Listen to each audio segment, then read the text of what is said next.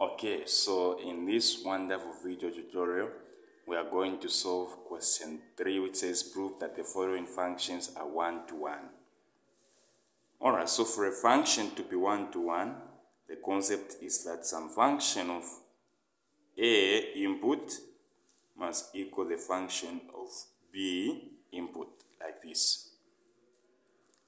So we are going to get the first question which is simply saying some function of f of x equal to um, this is 1 over x plus 2 then this must not equivalent uh, this must not be equivalent to. 2 so now we want to prove that this is uh, one-to-one -one function.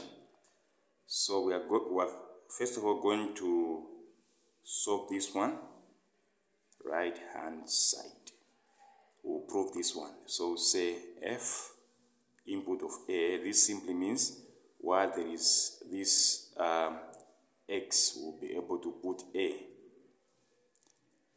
Then left hand side, they are saying that we can prove f input of b like this, meaning while there is we are going to put b. Now they are saying that the right hand side and the left hand side must be the same, meaning we are going to have 1 over a plus 2 equal to 1 over b plus 2, like this. Then we cross multiply, we have a plus 2 equal to b plus 2. This and this can cancel. Discover that A is going to equal B. Therefore, you have proved that this function is a one-to-one -one function. Let's get to the other part, which happens to be B.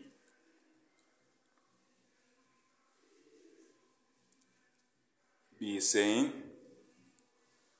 hmm, the function of f of x, this must equal uh, negative 2 x plus 3.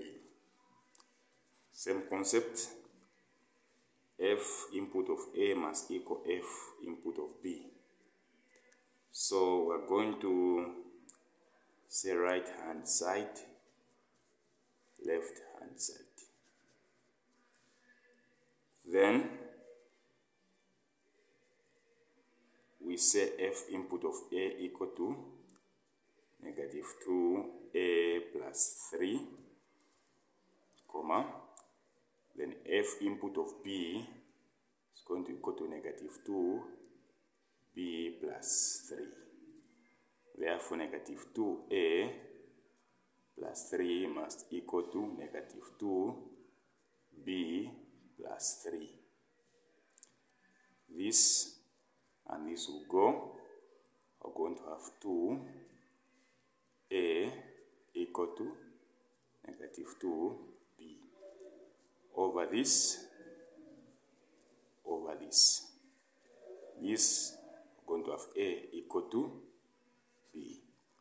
Therefore, we have proven that this function is simply a one-to-one -one function. So this is how you deal with this particular type of question. Okay, it's very simple. Thank you so much.